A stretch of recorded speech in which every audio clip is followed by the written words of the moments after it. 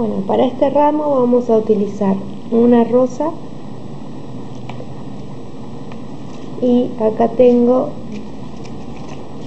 pimpollos. Tengo uno, dos, cuatro, seis, ocho. Tengo 10 pimpollos.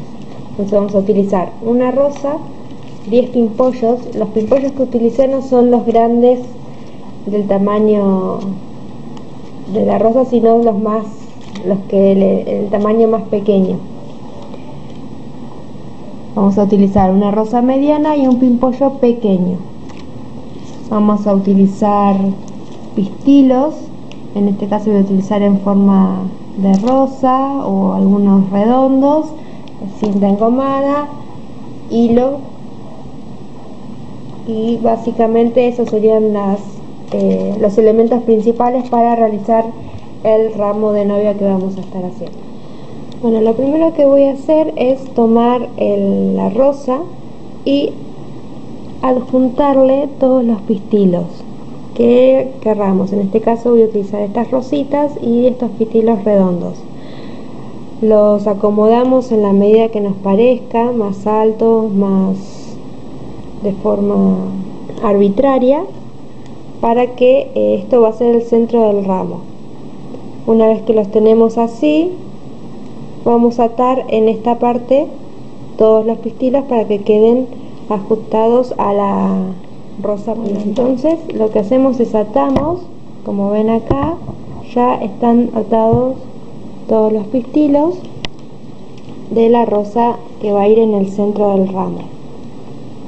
Pueden poner todos los que les parezca a ustedes. En este caso yo puse 6 rositas y 5 bolitas eh, en un tono amarillo. Ahora vamos a ir agregando las demás. Primero tenemos que forrar toda esta parte que es el hilo. Lo vamos a tapar con la cinta engomada y después vamos a ir adjuntando las demás eh, flores. Bueno.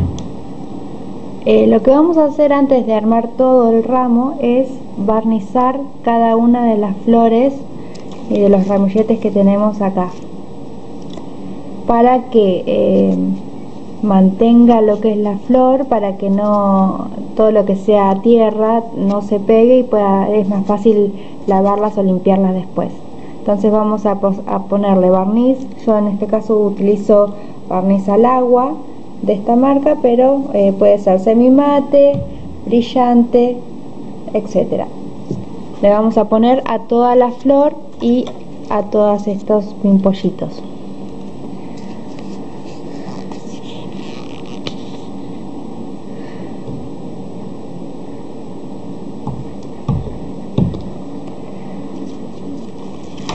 Así que con esto cubrimos y protegemos todas las flores vamos a hacer esto con todos los ramilletes. Incluso podemos hacer esto con el, lo que sería el tallo para que le dé brillo y em, también para preservarlo de todo lo que es la tierra etcétera.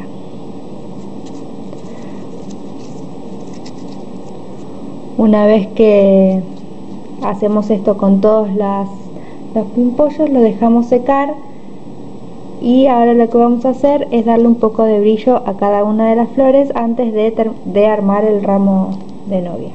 Bueno una vez que ya le pasamos a todo el, el barniz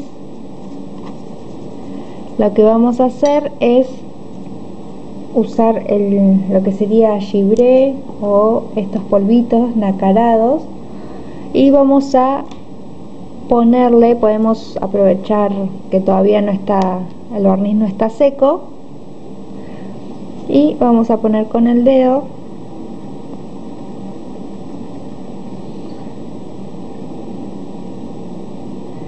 vamos a ir dándole un poco de brillo en las partes que nosotros querramos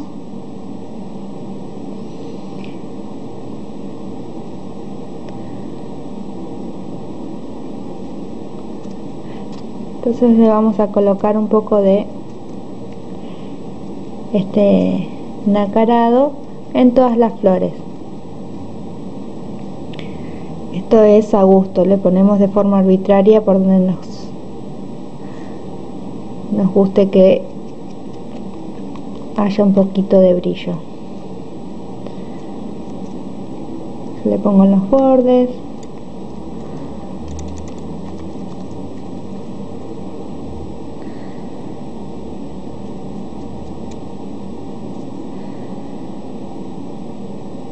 ahí se empieza a ver un poco el brillo que le va dejando este polvito.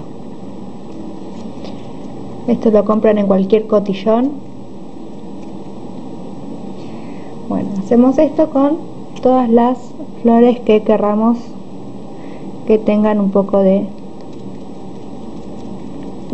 de luz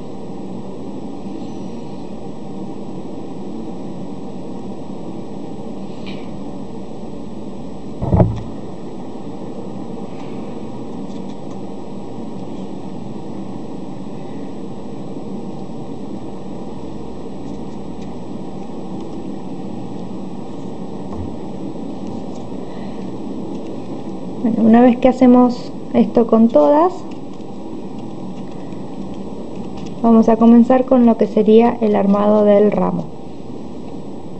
Bueno entonces una vez que ya tenemos las flores como queremos con el brillo, el barniz recordemos que a la primer flor, a la rosa que va en el centro le agregamos pistilos de diferentes formas con florcitas o redondos y se los pusimos alrededor de la flor. Lo atamos con hilo y lo forramos con cinta engomada.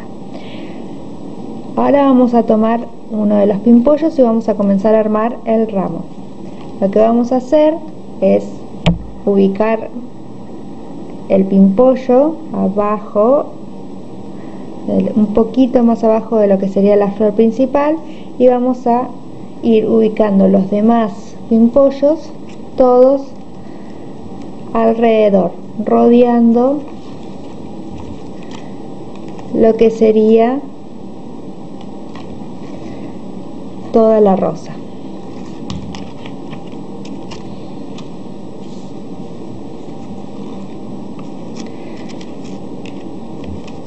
Para ir viendo cómo va a ser el formato que va a ir quedando.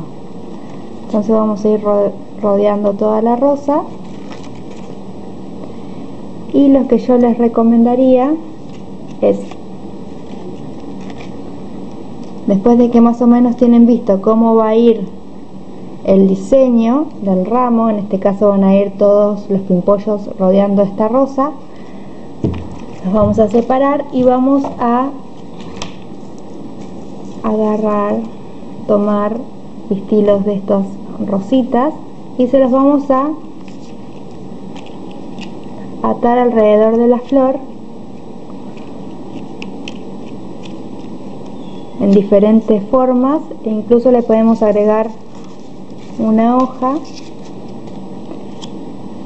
Y eh, primero atamos esto y después atamos esto a la flor principal. Y así vamos rodeando todo el ramo. Voy a atar esto primero y después les muestro cómo seguiría bueno entonces lo que hice acá es hacer todos los ramilletes de los pimpollos en donde le adjunté eh, pistilos de diferentes formas. Bueno en este caso utilicé solo las rositas acá también utilicé pistilos de color rojo.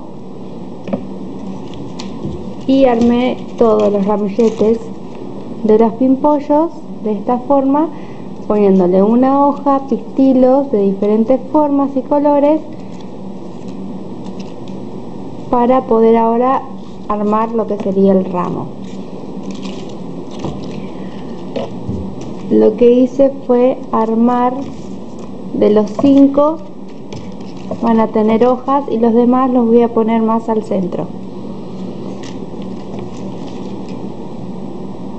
una vez que ya atamos el primer ramillete y ya lo forramos vamos a ubicar el segundo. Lo que voy a hacer es dejar un mínimo espacio acá porque voy a crear todo el diseño hacia acá adelante. Entonces dejo este mínimo espacio acá para ir acomodando y que quede una puntita cuando arme con los demás pimpollos hacemos lo mismo ubicamos que esté un poco más abajo que la rosa principal. Y cuando ya decidimos dónde eh, volvemos a atar y volvemos a forrar. Vamos a hacer lo mismo con los otros dos ramilletes. Voy a poner en total otros dos ramilletes de este lado y dos ramilletes de este lado con hojas. Y voy a dejar estos cuatro sin hojas que van a ir adelante para formar la punta entonces ahora atamos y forramos el segundo ramillete. Muy bien entonces lo que hice acá fue dejar ese pequeño espacio atrás acomode los tres pimpollos de este lado tres pimpollos de este lado con hojas. Y en este espacio que me sobra acá lo que voy a hacer es ubicar estos pimpollos que no tienen hojas de forma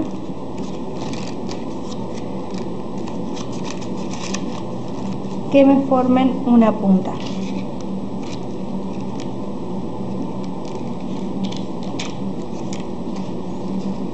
Siempre doblen un poco el alambre. Doblenlo para que puedan em, atarlo mejor para armar el, el ramo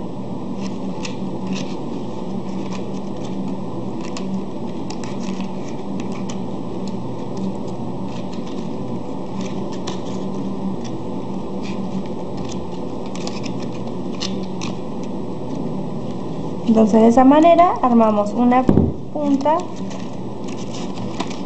Y una vez que estén atados vamos a acomodar mejor las rositas.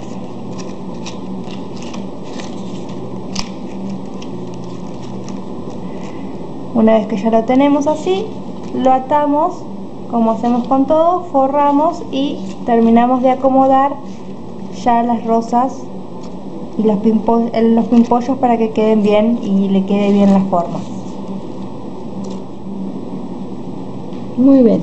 Así queda entonces el ramo terminado. Acá ven como le fuimos dando la punta. Le puse una hoja de más acá como para que no quede para que quede armonioso con todas las hojas y que termine en punta. Si no quieren que quede este vacío acá lo que pueden hacer es eh, agregarles más más pistilos. Y para rellenar todos los espacios que deseen siempre estos pistilos son lindos para rellenar. Los ramos. Y así quedaría entonces el ramo terminado lo que hacemos generalmente es el tallo ponerle un poco de cinta de ya sea de raso o cinta fantasía porque siempre le da un toque más delicado a lo que son los ramos. Y bueno esto sería para hacer un ramo con una mini caída nos vemos en el próximo video.